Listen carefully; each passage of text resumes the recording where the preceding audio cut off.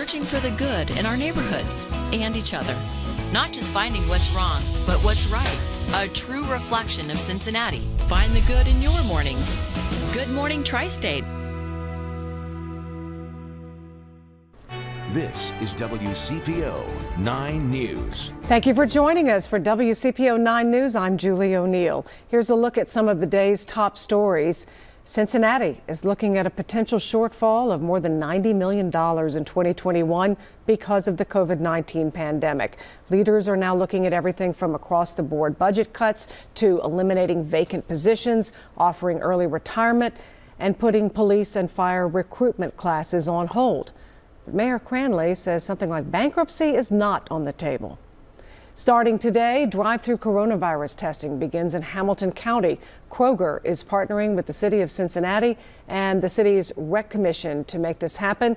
There is an online form to fill out to find out if you're eligible for this free test on WCPO.com.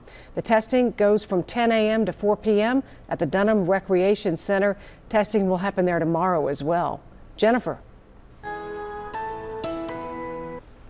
Today we are kicking things off with a cloudy sky, some isolated showers, and you'll notice a little bit cooler air out there. Temperatures have dipped into the mid 40s in some towns and will barely build back up to the low 50s. And if you're not a fan of these cooler days, yeah, you might want to grab a coat before you head out the door today.